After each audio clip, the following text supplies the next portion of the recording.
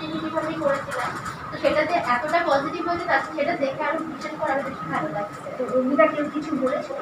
হ্যাঁ আমার সেদিন তো কেমন লেগেছে এটা বললে বলতে হয়।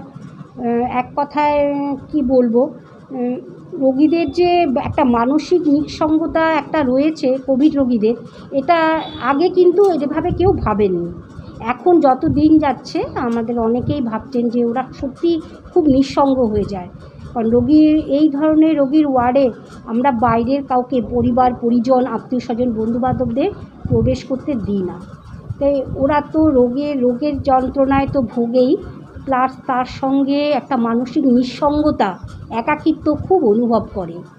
তো আমার এই নার্সিং স্টাফ যদি তার নৃত্য পরিবেশনার মাধ্যমে সে যদি তাদের কিছুটা একটু আনন্দ দিয়ে থাকে, তাহলে সেটা খুব ভালো কথা। চিন্তাভাবনা বলতে প্রথমত হচ্ছে যে মানসিকভাবে যে সমস্ত পেশেন্টরা তারা অনেকেই মানসিকভাবে দুস্থ হয়ে পড়ে। তো তারা যে শুধু কোভিড আক্রান্ত হয়ে যতটা না অসুস্থ, তার থেকে অনেক বেশি অসুস্থ হয়ে পড়ে ওরা মানসিকভাবে, কারণ তারা তাদের পরিবার পরিজন দেখতে পায় না। বা এরকমও হয় যে নিজে অসুস্থ, তার থেকে যে পাশে যে পেশেন্টটা আছে, সে আরও বেশি অসুস্থ। তো সেক্ষেত্রে কি হয়, দেখতে মানে একজন আরেকজনকে দেখে তারা মানসিকভাবে আরও বেশি অসুস্থ হয়ে পড়ে। তো তাদের মধ্যে যাতে এই মানে একটা পজিটিভ সেন্স বা আমরাও আছি, আমরা লড়ছি, আমরা পারছি, তাহলে তোমরা কেন পারবে না? বা এই যে একটা পজিটিভিটি সেটা তুলে ধরার জন্য ভিডিওটা করা।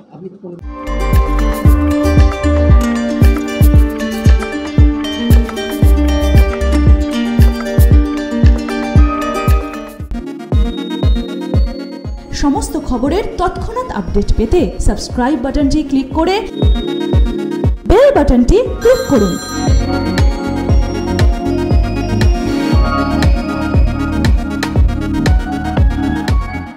আরও খবরের আপডেট পেতে সাবস্ক্রাইব করুন আমাদের ইউটিউব চ্যানেলটি আর বেল আইকনে ক্লিক করুন নোটিফিকেশনস পেতে।